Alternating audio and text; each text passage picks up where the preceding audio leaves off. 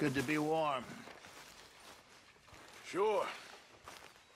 So what do you think, Arthur, of Dutch's latest plan? You know me, I never did much thinking. Uh, I know you like to hide behind the angry moron act, but it's a thin enough veneer. If you say so. It's time to start thinking, Arthur, before it's too late.